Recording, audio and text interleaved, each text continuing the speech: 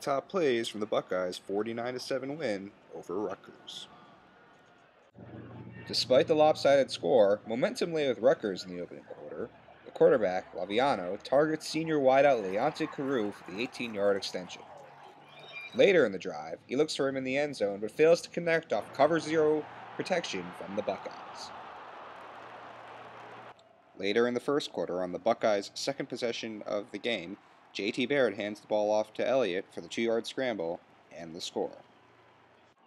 To the opening drive of the second quarter, Rutgers ball, deep in their own territory, they would lose yards on consecutive plays and give the ball away to the Buckeyes, and that would be just about all she wrote. There on out, it was all Ohio State all night.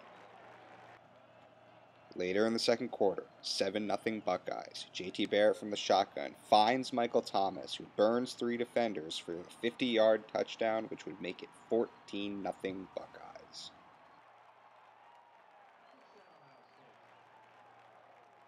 Late second quarter, Barrett in his own territory finds Braxton Miller downfield on a 45 yard connection, which would be reviewed and upheld, giving the Buckeyes a red zone chance.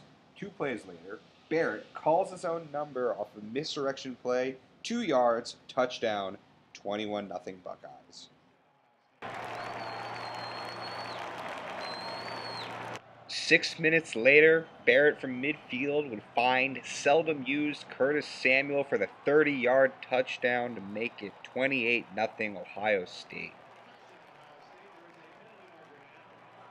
Mid third quarter, JT Barrett in the red zone takes it himself again for the 10 yard touchdown to score for the fourth time in five possessions and make it 35 0 Ohio State. With the game out of reach, recently supplanted quarterback Cardale Jones enters and completes all three of his pass uh-huh. attempts as it's all smiles on the sideline for the Buckeyes as they win big in Jersey before their bye week. Final score 49 to 7.